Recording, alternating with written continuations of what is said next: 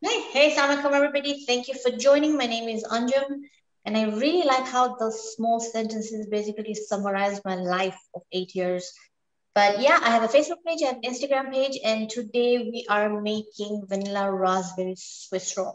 I'm just going to jump straight into it. We're not wasting time. and we're all hungry. Okay, so in today's recipe, it's less about the ingredients and more about the technique. So if you get the recipe, if you get the technique right, you should be fine. We are just going to start off with full cup uh, four large eggs, room temperature. Uh, three quarter cups of sugar. I'm just going to turn this down. We have four large eggs, room temperature, three quarter cups of sugar, and then we will do the dry ingredients in a minute. So you just need a KitchenAid with a whisk attachment, and we're just going to start dumping things in here. Let me know if I need to be louder.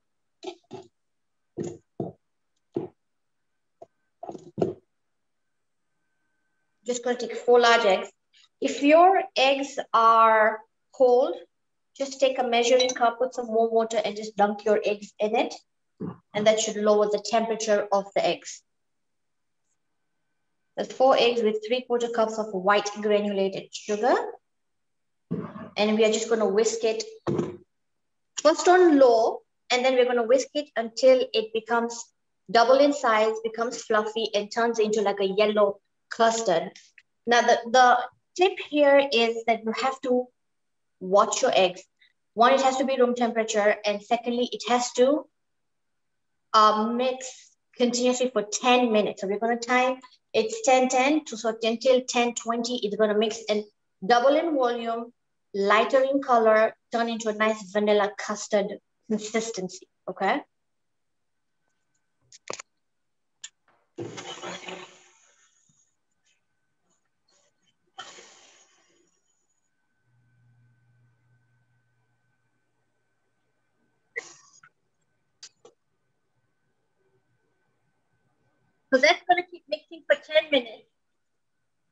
Twenty. Meantime, we're going to go ahead and make the dry ingredients. In the dry ingredients, we have in a bowl, we have three quarter cup of all-purpose flour, a teaspoon of baking powder,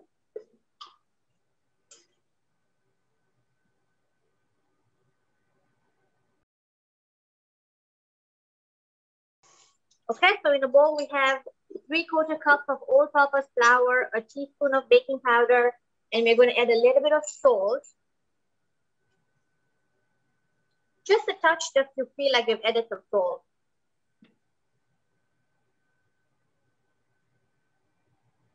So that's ready to go. So after 10 minutes of the eggs, we're going to add this. And then we're going to line up the parchment paper. I am using cake goop, but you can also use uh, uh, what's it, spray or butter or just some oil maybe. I just want to make sure that the parchment paper sticks to the side.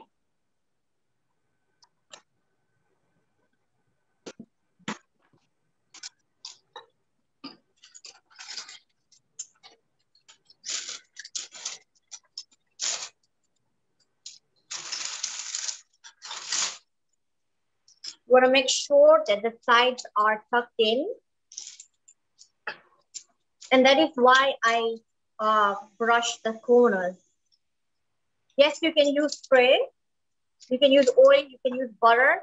You can make a mixture of flour and uh, you know how you make the samosa chapri, that paste, you can do that.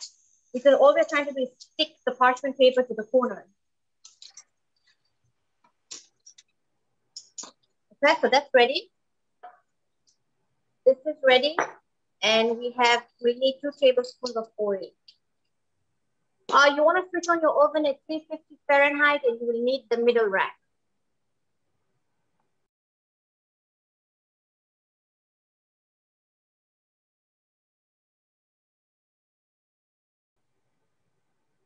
And you see how the color is changing to pale yellow, that's a good thing.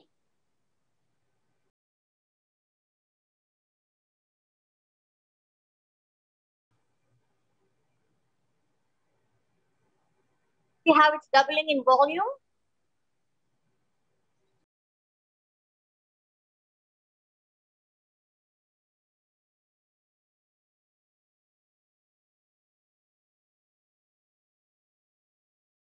You can use uh, gluten-free flour. You can use, I don't know, all those healthy kind of flour that there is. You can, but all-purpose flour.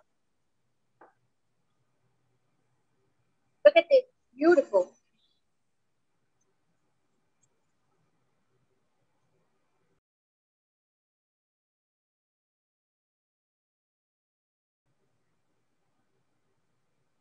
We have five more minutes to go. So we will be using an 11 by 15 uh, sheet cake pan or sheet cake. Uh, you can use something bigger than this. You can use a Pyrex. But we will be using an 11 by 15 pan that's 50 Fahrenheit, middle rack. If you have a dark color paint, lower your temperature to 325. There's four more minutes to go.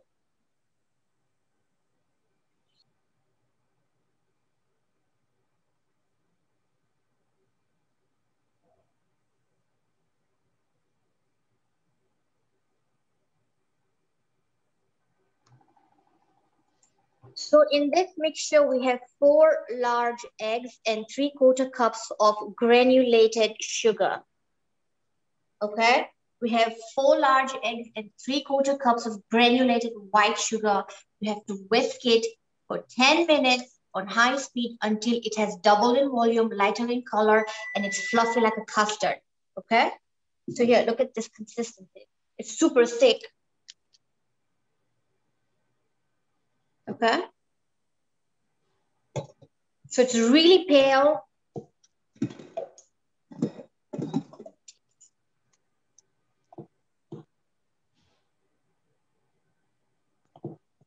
Okay. You see that? It has really lightened in volume and it was right here and now it's here. Okay. So that is done. Next, we're gonna take our mixture of dry ingredients, which was three quarter cups of all-purpose flour with a teaspoon of baking powder and some salt.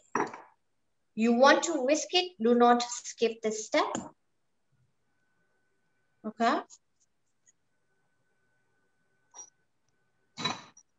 I'm gonna put it back in my KitchenAid and we are going to whisk it only to combine. This step will be only to combine. We are not making khichdi, okay? Just lightly until you don't see the flour anymore. And you can definitely use a handheld mixer or a hand mixer. You don't have to have a kitchen KitchenAid.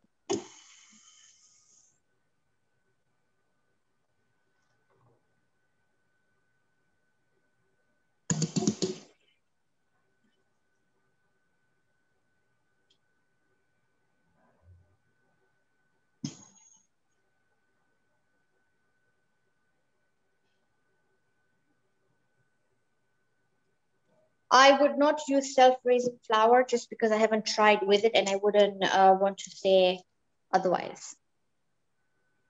So we have only mixed to combine.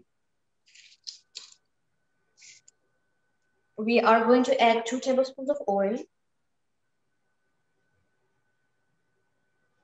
Now a whisk does not uh, mix all the way to the bottom. So we are going to just make sure that the flour is not stuck at the bottom because they're just going to fold.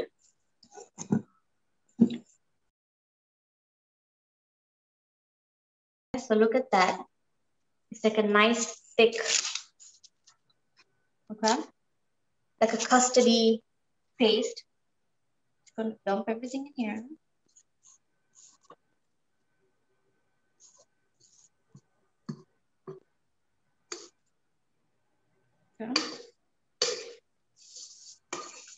I think the key, the key thing over here is to make sure that your eggs have doubled in volume.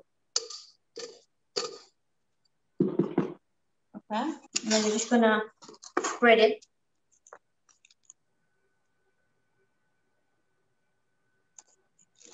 I'm just gonna make sure you spread it equally.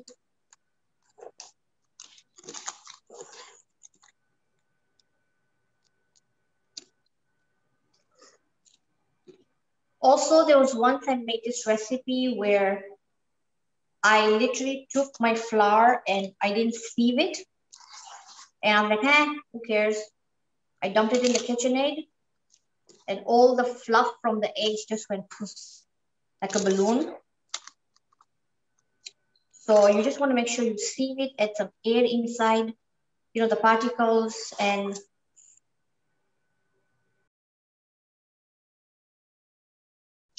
I'm gonna put this in my oven in the middle rack, 350 Fahrenheit for 12 minutes. And then we're gonna put a toothpick in the middle, make sure the toothpick comes out clean, okay?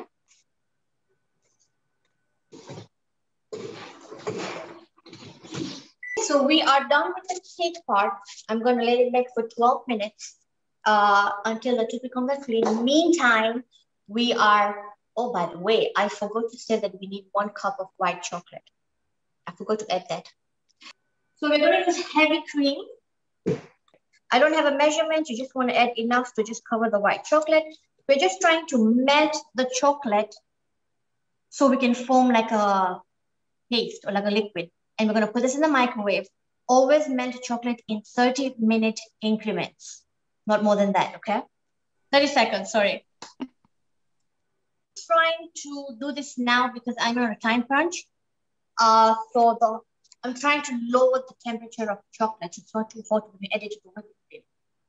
But if you're doing it at home for an event, you don't have to rush. Just a lot of people, if you have events, if you have an event on Saturday, do not bake on Saturday afternoon and, and then you have a panic attack and then you call me bake on Friday, prep on Friday, prep your cake on Friday, do everything one day before so that you don't have to call me. okay? So it's a very easy technique if you just follow an easy recipe, if you follow just the technique of the fluffing.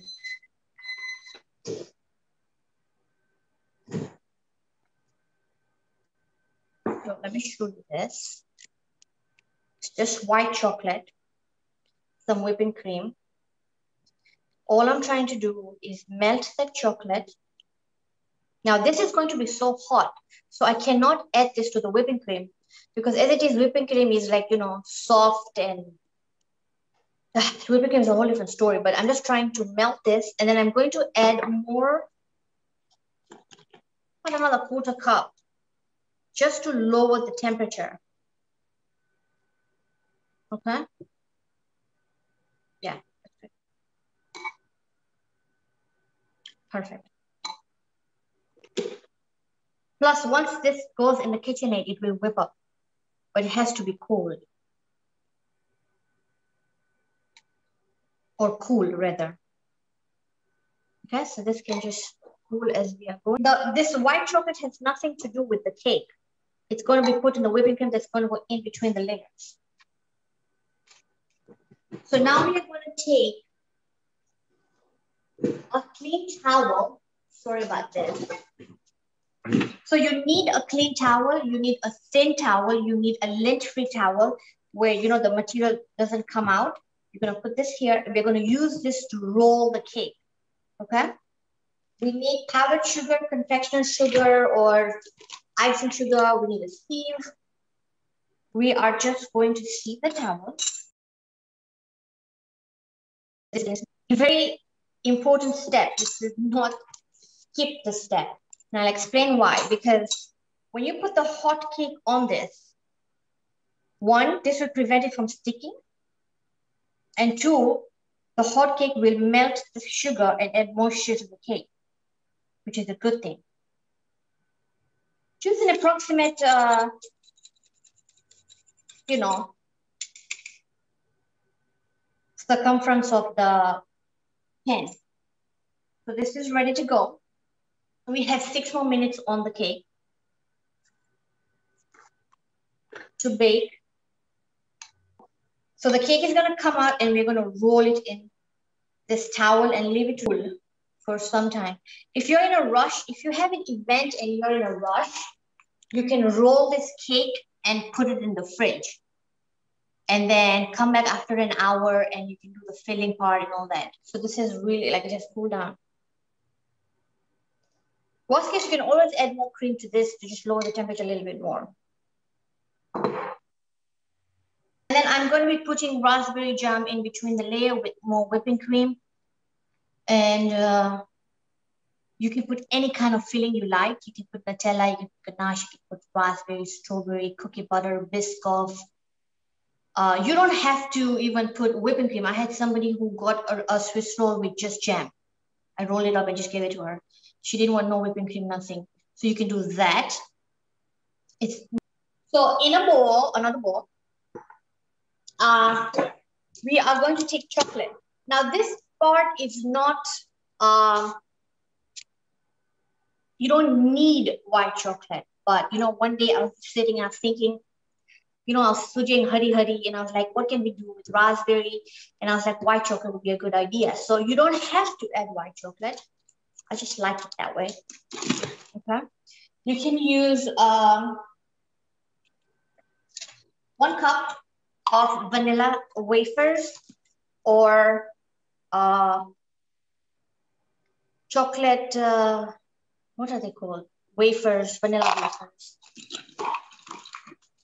I buy the brand Guittard. You don't have to. You can buy Wilton. You can buy uh, a supermarket brand. Does not matter.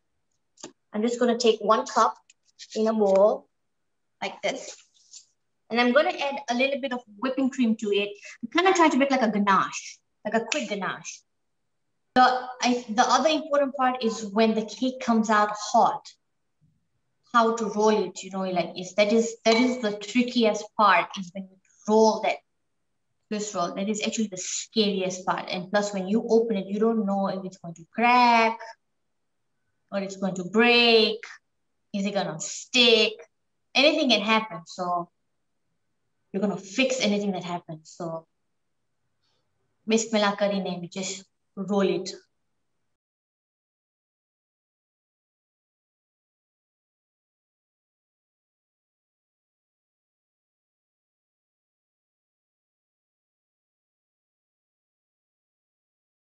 The way the cake is baked, I put the toothpick in the middle, came out clean, okay? My, when I went to work, cake, we're gonna release the parchment paper.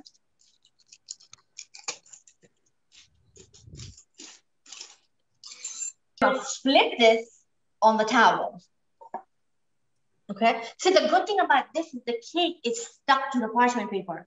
So that's a good thing. All right. So Bismillah Karine, we're just gonna flip this thing directly onto the sugar. Okay, we're gonna release the parchment paper.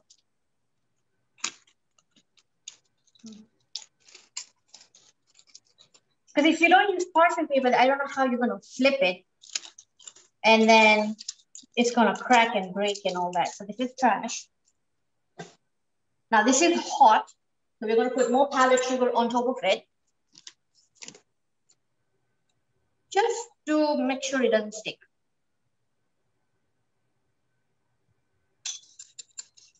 And be generous, please.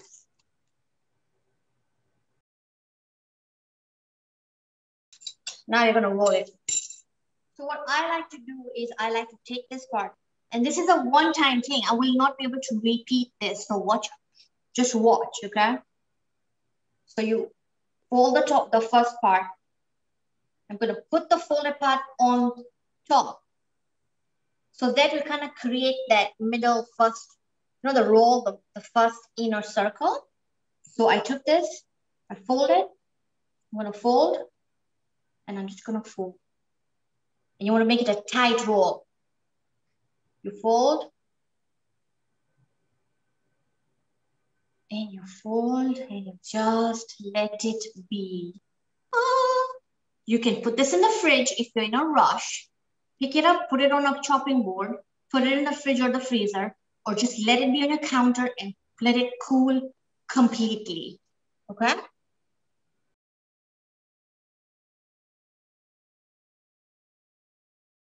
This is done. I'm not going to touch it. That's it. We are done baking and rolling. So that is done. Going to let that cool. So there was a time I made 10 Swiss rolls at that time. So I was putting it in the freezer uh, so that it uh, cools faster so I can go on to the next step. So if you're making that many and you're putting it in the freezer or the fridge, make sure it's like 15 minutes or 30 minutes fridge 15 minutes in the freezer because if this thing freezes or over chills in curled position and if you uncurl it, it will break. So make sure on the timing if you're making too many of them. Okay, okay. so we will now make the filling for the cake. So we will need a KitchenAid, a whisk. If you don't have two, just wash yours. you will need two cups of heavy cream. You will need that melted chocolate that we made initially. It has really cooled down, so that will be the right time to use it. You will also need about a cup of uh, powdered sugar. i take a cup.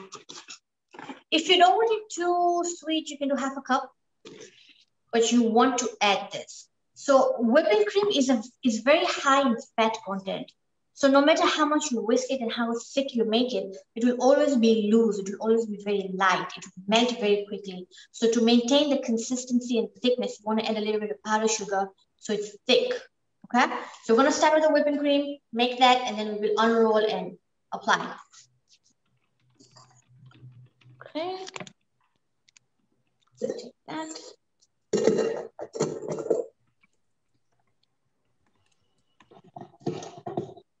Put the whipping cream, two cups, or even one and a half cup is good.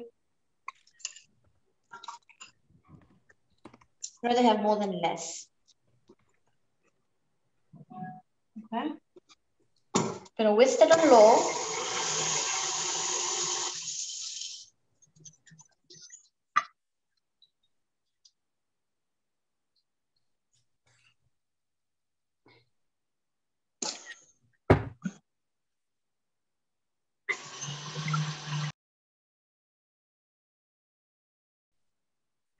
Once it starts to froth up and get a little thicker, we will add the powdered sugar.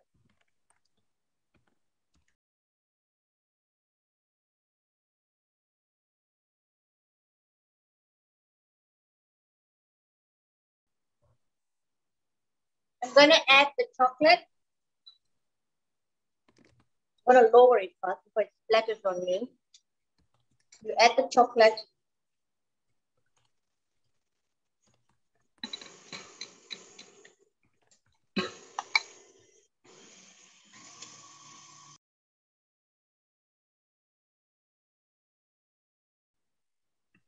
if you see it is getting thicker, the moment you start seeing the lines of the whipping cream, you know it is getting thicker. So I'm going to add the powdered sugar, which is one cup.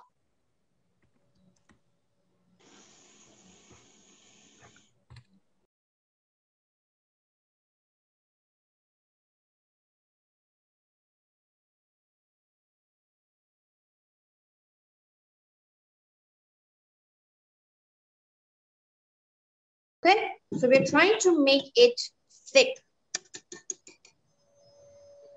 And that is it. I'm just gonna scrape the sides.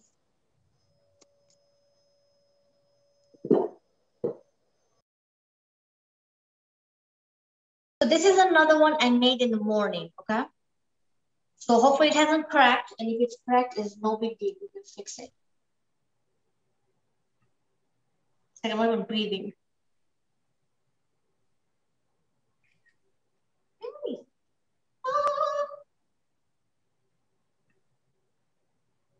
I'm gonna pick it up.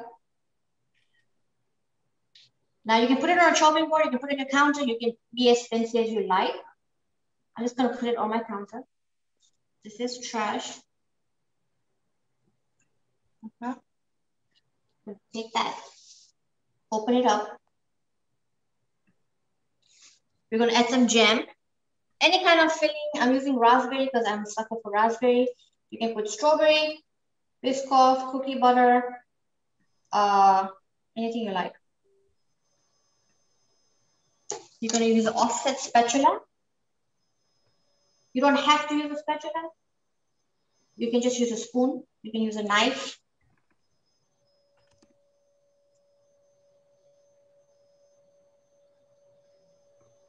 This is my first spatula I ever owned. Been 10 years since I have it. And it's actually my favorite one. It's nice and it should be light to use. Shouldn't be heavy.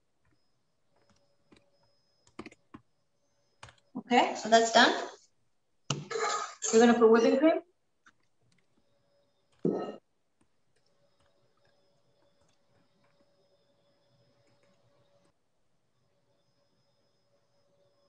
You can put any kind of jam you want or don't put jam, you don't have to. You can use uh, any kind of uh, store-bought jam. You can make your jam. Okay. So you put that, cover your sides. Now I wish I wasn't fasting because I'm gonna eat this. Okay. We're gonna roll this, carry it, and put it on your serving tray. Okay? This is the scariest part. One of them. Want to be gentle. I'm not gonna do this again, so you better watch now. I'm just gonna roll this. Okay. You want to pick it up and transfer that. Okay? That's done. And then I'm going to put this tray on my turntable. A turntable is a very important tool if guys love making. Makes life so much simpler. Okay? So you can see that. Okay? And I'm just going to cover it up with the remaining whipping cream.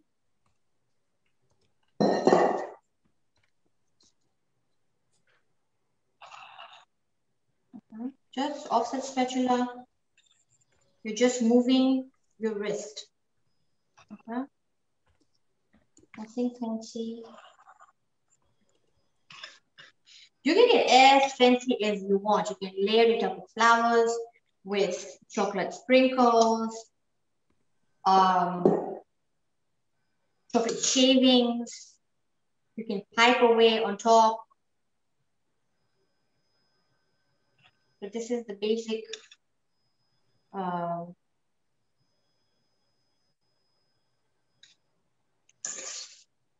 cover the sides. Or you can just keep it rustic. You don't have to uh, cover all the sides.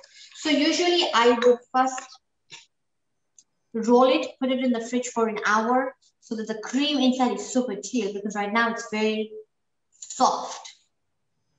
So if you chill it, it's much better if you do. It'll be easier to handle than when it is, you know, soft. Because we just made the pudding. So everything is loose and you can use a scraper, any kind of scraper. Just you can do just that. You can use a fork to make lines on top. You can just use your spatula and just do, you know, something like that.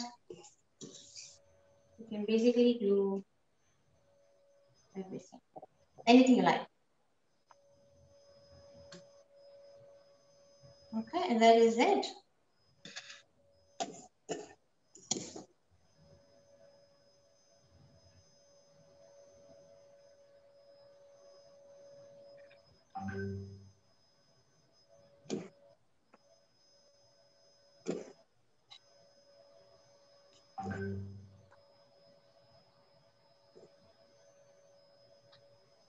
You can even use an acetate paper to perfect it if you have it, but that's something not everybody has, so I'm not gonna worry about it.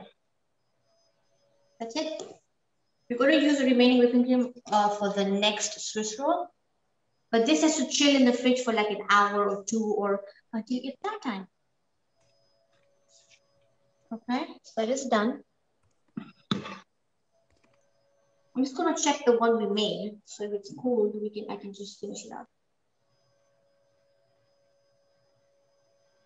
That's still warm.